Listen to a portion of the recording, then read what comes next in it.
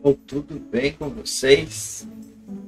Lucas França aqui e hoje eu vim trazer uma dica super especial para você de como colocar um morro para trabalhar em nuvem. Interessante isso, né? Fica comigo até o final então.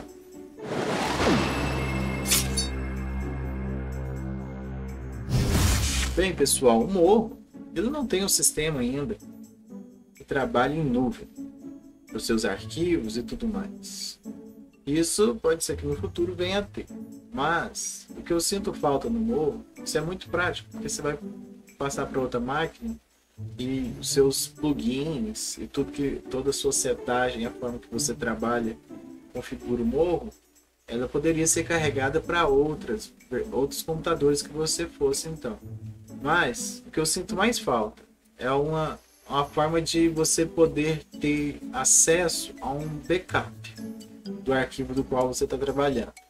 E então eu consegui uma forma aqui, estava mexendo aqui por acaso e eu descobri essa forma. Eu quero compartilhar essa forma com você, tá bom? Deixa eu compartilhar minha tela aqui com você.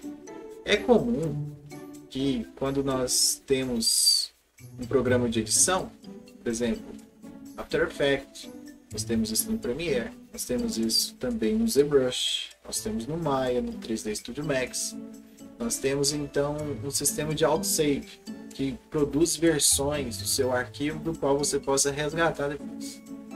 Certo? Aqui vou te dar um exemplo prático disso. Nós temos aqui é, esse arquivo, essa pasta. Deixa eu pegar uma mais simples aqui. Nós temos aqui esse arquivo aqui do Premiere, né? Que é um, a aula que eu gravei da sala 101, aula 2. Então, junto com o arquivo, ele vai criar uma pasta de autosave. E nessa pasta de autosave, então, ele vai salvar ali de 10 em 10 minutos as versões do meu arquivo, tá bom? E então ele vai armazenando aqui. Se eu ver que tem algum problema lá na frente, eu posso resgatar isso. Voltando aqui né, na versão e abrindo essa versão e salvando ela com um novo arquivo, um ponto de um, um, um reboot, um restart. Né? Então, é, é muito útil isso. Isso é muito útil.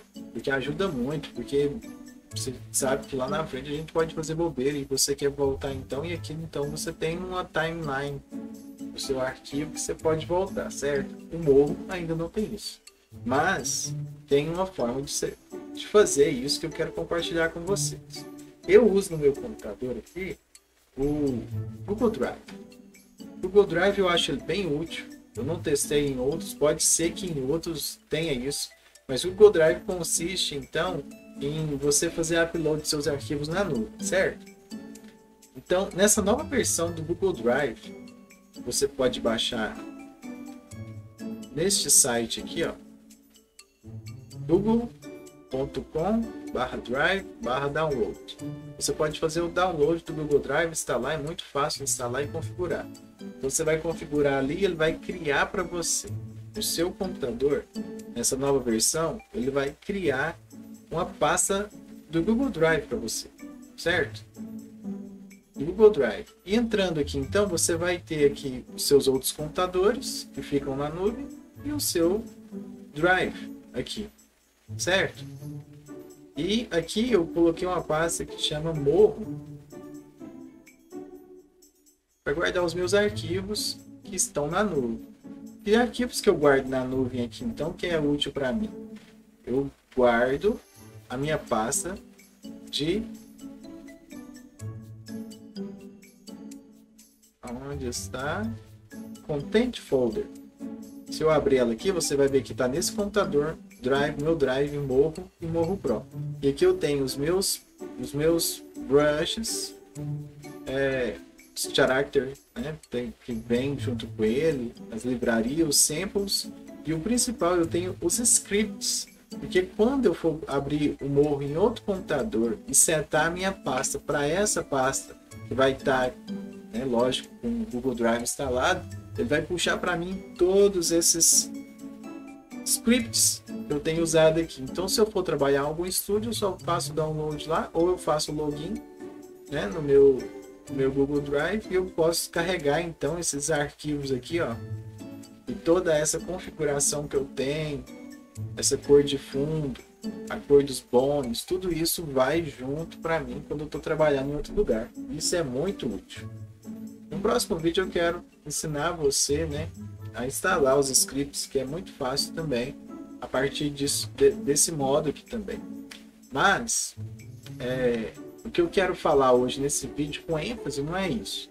O que eu quero dizer para você é o seguinte. Esse sistema de backup, nós podemos usá-lo, né? Eu tenho outra pasta aqui. Os arquivos do Morro são muito pequenos. Eu criei uma outra pasta aqui que chama clientes no meu computador, certo? E aqui nessa pasta clientes, eu tenho os arquivos aqui, ó. Deixa eu aumentar aqui eu tenho os arquivos que eu trabalho, né, que eu tenho trabalhado nesses projetos. Então, aqui, ó, clicando com o botão direito sobre o arquivo, eu estou usando o Windows 11, então precisar mostrar mais opções. Eu posso então fazer o seguinte, ó, eu posso gerenciar versões. Quando eu clico aqui, ele vai me mostrar as versões, ó, desse arquivo que eu tenho. E da mesma forma, só que o que, que acontece? Esse arquivo ele deve ser sempre salvo, tá? Vamos entender na prática o que é isso. Quando você salva um arquivo dentro de uma pasta do seu Google Drive, é interessante aqui, que eu esqueci de falar e algo muito importante, é que você sempre mantém essa pasta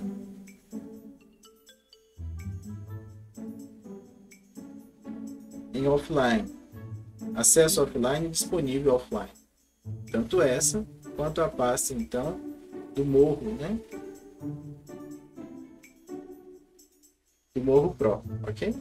Você tem que deixar ela então com acesso offline. Se você não fizer isso, não vai funcionar. Sempre vai pedir a sua pasta ali, né? Vai pedir a sua pasta content folder. Então você tem que marcar ela como offline, ok? E aqui então Vamos voltar lá. Está aberto aqui a versão. Aqui. Nós temos aqui uma pasta oculta de versão, né? Então você pode escolher aqui qual versão você quer. Ele tem aqui as versões 1, 2, 3, 4, 5, 6, 7, 8. Esse aqui você pode acessar pelo seu Explorer, mas se você acessá-lo lá no seu browser, você vai perceber então essa mesma pasta, só que online. Se eu clicar com o botão direito aqui, por exemplo, nessa versão 5, eu posso vir aqui em gerenciar versões. Ele vai me listar aqui as versões desse arquivo. Essas versões, olha só que interessante de você entender aqui. Essas versões anteriores do Morro 7 podem ser excluídas após 30 dias, ou depois que 100 versões são feitas, porém armazenadas. Para evitar a exclusão, abra o menu do contexto do arquivo e selecione manter indefinidamente. Então aqui, né, você pode fazer aqui, marcar aqui manter indefinidamente. As versões são exibidas na ordem em que forem enviadas para upload no Google Drive. O sistema, para entender isso aqui de forma clara, é o seguinte: você salva um arquivo na nuvem, certo? Se você salva ele aqui, ele está sendo salvo na nuvem, ele vai subir isso. A versão anterior desse arquivo, então, ela é colocada para essa versão anterior dele. Então, o que você precisa fazer é simplesmente salvar com o mesmo nome, sobrepondo esse arquivo.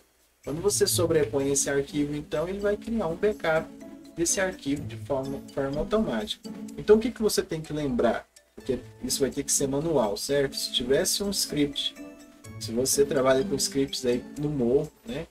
E você pode fazer isso pra gente, né? Facilitando o autosave. Mas se você der aqui né, um Ctrl S no arquivo, ele já vai sobrepor o arquivo na nuvem e isso vai gerar uma nova versão então do nosso arquivo.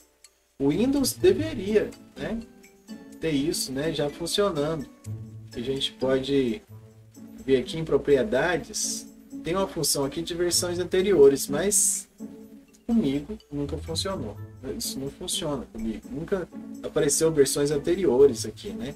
Mas no entanto, né, essa é uma forma então que a gente poderia aí, né, resgatar uma versão anterior dos nossos arquivos, ok? A dica de hoje é só isso, então.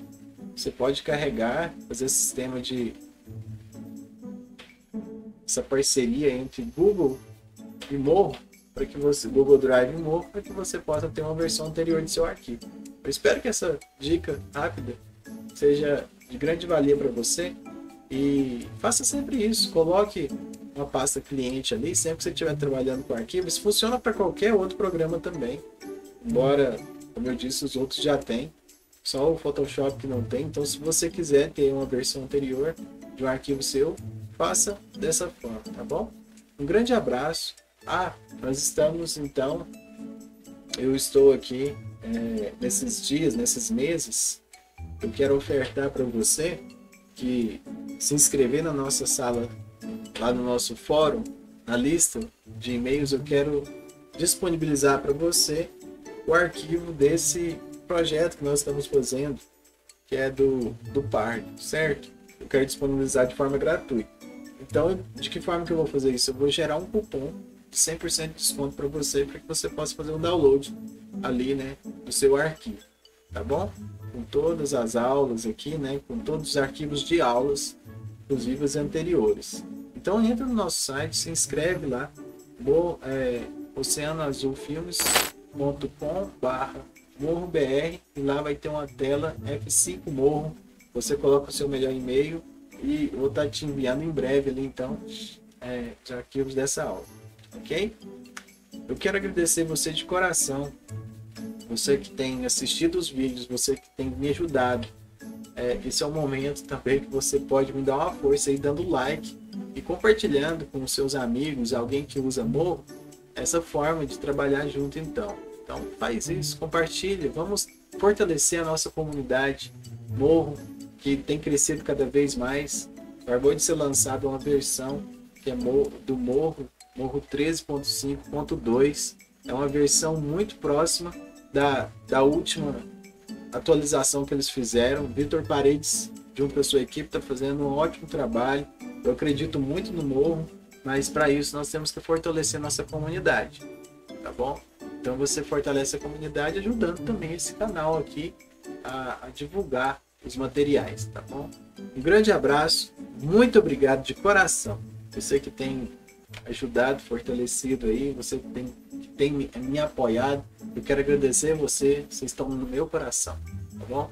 Um grande abraço e até o próximo vídeo, então. Tchau!